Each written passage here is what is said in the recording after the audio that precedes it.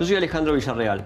Soy doctor en biología especializado en neurociencias. Sabemos que el cerebro toma decisiones y manda las ideas a los músculos a través de la médula espinal y los nervios. En el año 93 este, empecé a sentir una neuralgia en el ojo derecho. Tuvo una situación muy desagradable ahí Patricia, porque quedó sin caminar, sin movilizarse y sin ver de ninguno de los dos ojos. Que se llama neuromielitis óptica porque ataca el nervio óptico y la médula espinal. Hoy sabemos que en el sistema nervioso e imagino en el organismo todo tiene que ver con todo.